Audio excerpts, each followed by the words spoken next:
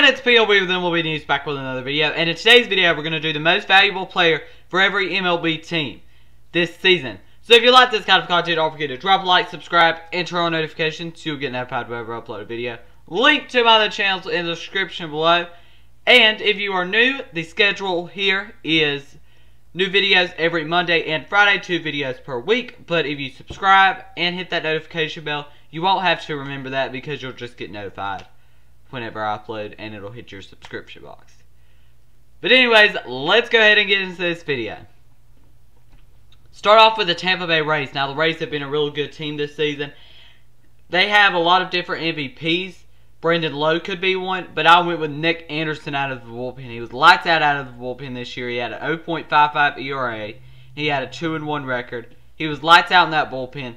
They needed him a lot um, to close games for them, and he was a big piece in their season this season. Next, for the New York Yankees, is going to be DJ LeMahieu. Now, the reason I'm going with DJ LeMahieu is because of his high batting average, for one. And he's got a 364 batting average, 10 home runs, 27 RBIs. So he had a really good season. Um, the reason I didn't pick Judge or Stanton was because they both were injured.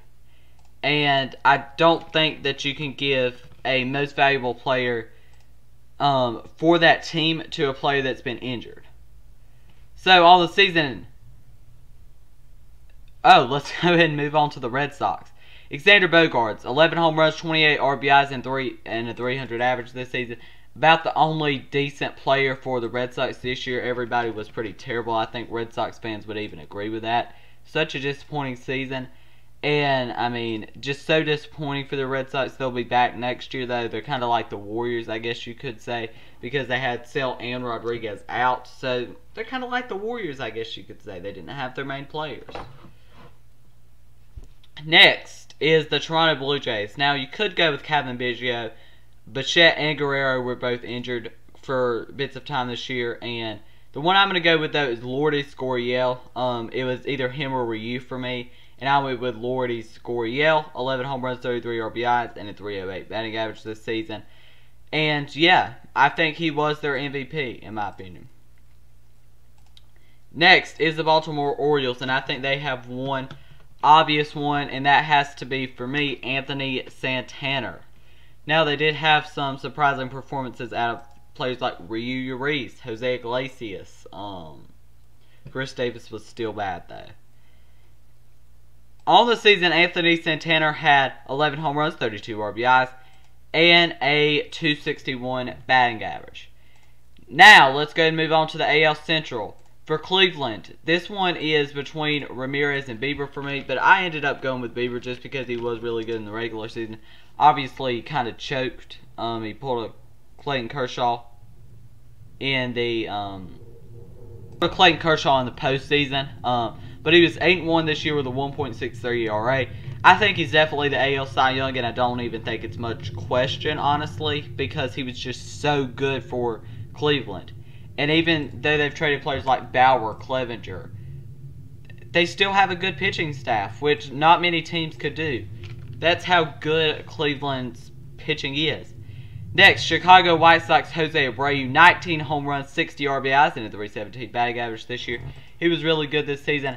Has to be their MVP, I would say. For the Tigers, a player that kind of, I guess, broke out later in the season, that's going to be Jeimer Candelario. None of their players were great on their team. He has 7 home runs, 29 RBIs, and a 297 batting average. No player was great on this Tigers team, and nobody expected anybody on this Tigers team to be great. Um, you could go with Jacoby Jones based on the season start that he had, but I went with Jeimer Candelario. Whit Merrifield for the Kansas City Royals. I think he should be requesting a trade soon. Um, this offseason, I would predict he gets traded, and I think I'm going to do a whole video being like predicting the MLB trades this offseason. And I'm obviously going to do a free agent video too. Those will be two separate videos though. Um, those are videos that'll be coming probably when the World Series is over. Maybe before though. I don't know. Um, but on the season, nine home runs, 30 RBIs, and a 282 batting average. Um, best player on the Royals, I would say. And for the Minnesota Twins, it is Byron Buxton. Now, Buxton finally showed that power this season. Um, he obviously had a great glove, but just did not have the hitting. And he did better with that this year with 13 home runs, 27 RBIs, and a 254 batting average. Um, nothing to complain about there. I think he was their MVP. Angels, this is short and sweet. Mike Trout. 17 home runs, 46 RBIs, and a 281 batting average. Now, will he get AL MVP? That's up for question. His team was terrible. But that's what it's been for his whole career. They haven't done anything good for him his whole career. I mean, that's a rant for next time, though. Houston Trash Can Beggars, I'm going to go with George Springer. 14 home runs, 32 RBIs, and a 265 batting average this season. He was pretty good, about one of the few players that could actually hit without the trash cans. Matt Olson for the Oakland A's is their MVP. 14 home runs, 42 RBIs, and a 195 batting average. Batting average was low, but he was their probably best hitter. Matt Chapman probably would have been if he was the, if he was not injured, but he was injured. Mariners, that's going to be Kyle Lewis. He definitely was one of the biggest surprises of 2020. We knew he was going to be good, but not this good this quit.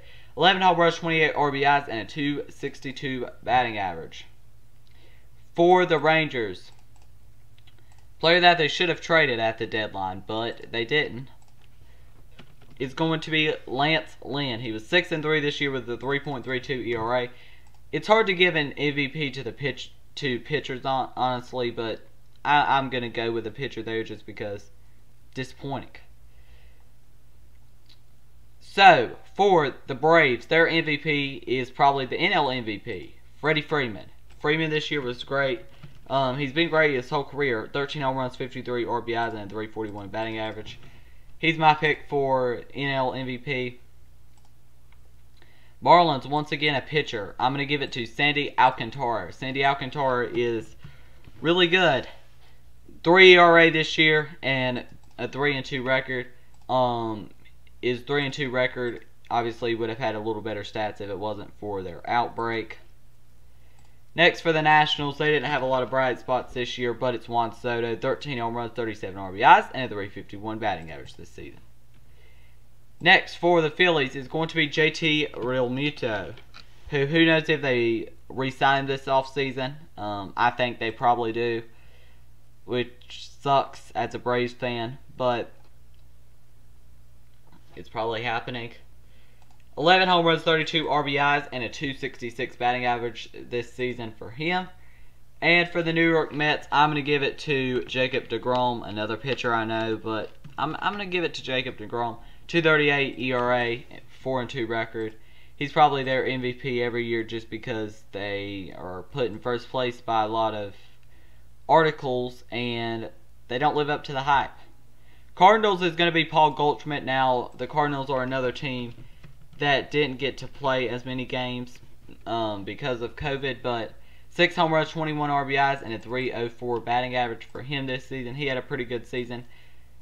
Next for the Reds, their MVP is going to be another pitcher, Trevor Bauer. Um, he's the NL Cy Young, in my opinion, 5 and 4 record with a 1.73 ERA. Um, was the best pitcher in the NL. And the and Cleveland traded him for not much. Pirates is going to be Colin Moran with all the Pirates players that had hope this season being just terrible. Colin Moran's their MVP, 10 home runs, 23 RBI, RBIs, and a 247 batting average. Next for the Cubs is going to be another pitcher, and that's going to be Yu Darvish. Um, definitely their biggest surprise this year with a 2.01 ERA, 8 and 3. Obviously, they're out of the playoffs because they choked versus the Marlins. It's simple. And next is Brewers, another pitcher, Josh Hader. Yelich obviously would be the MVP if he was if he had played like he had in the last couple seasons. One and two with a 3.79 ERA. He's the best reliever in the game, I would say. Next for the Dodgers is going to be Mookie Betts. 16 home runs, 39 RBIs, and a 292 um, batting average. I think he'll finish second in MVP. Next for the Diamondbacks is going to be a pitcher, and that's going to be Merrill Kelly. 2.59 ERA and at 3 and 2. Their whole team was disappointing, so it was very hard to find an MVP. Giants, they barely missed the playoffs this year. They had a lot of surprises, but their MVP is going to be Mike Yastrzemski. 10 home runs, 35 RBIs, and a 297 batting average. Next for the Padres is Fernando Tatis. Um, obviously, Machado is a good argument too, but I would go with Tatis personally. 17 home runs, 45 RBIs, and a 277 batting average. And the final team on this list is the Rockies' Nolan Arenado. And Nolan Arenado on the season has 8 home runs, 26 RBIs, and a 253 batting average. The Rockies pitching started off good. They just started off good as a team, and then they did terrible from there. Yes, so those are the most valuable player from every MLB team this season, in my opinion. If you enjoyed it, make sure you drop a like, subscribe, and turn on notifications so you'll get notified whenever I upload a video. Thank you for watching, and I will be back with more videos soon.